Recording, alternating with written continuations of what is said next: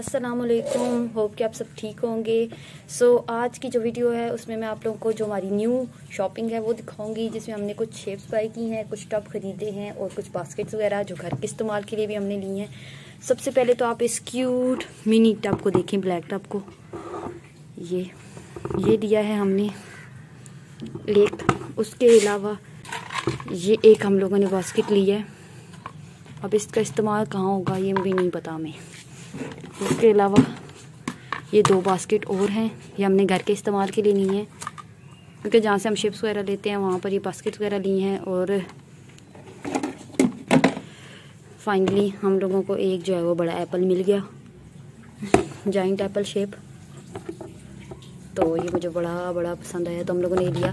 सबसे पहले मैंने इन शेप्स को घर लाकर अच्छी तरह जो है वो धोया है, और फिर मैंने कहा आप लोगों के साथ शेयर कर दूँ अपनी शॉपिंग उसके अलावा एक और हम लोगों ने जग टाइप लिया है।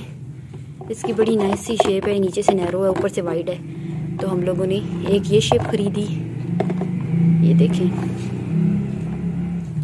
इसके अलावा सबसे क्यूट ये मिनी शेप छोटी सी ब्रिक टाइप हम लोगों ने दी बार सा, छोटा सा बार। एक ये शेप हम लोगों ने ख़रीदी है, ये स्मैशिंग के लिए। शेप जब हम बनाते हैं, एक ये बहुत जॉइंट सी शेप हमने की है। ठीक है, ये थोड़ी राउंड सी भी है और नीचे से ये जो थोड़ी चकोर सी है, ये देखें। एक ये शेप ख़रीदी हम लोगों ने और साथ ही इसका ढक्कन है और अनदर ब्लैक टब फाइनली तो ये हमारा जो है वो थोड़ा बड़ा वाला ब्लैक टब है।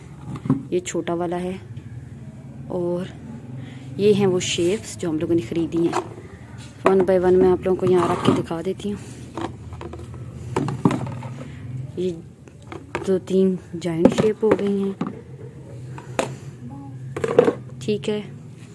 और उसके अलावा ये बास्केट्स और एक ये मिनी टब तो आप लोगों को जो है वो हमारी ये शेप्स और ये शॉपिंग कैसी लगी? आप लोग कमेंट्स में ज़रूर बताइएगा और कौन सी शेप आप लोग देखना चाहेंगे नेक्स्ट वीडियोज़ में?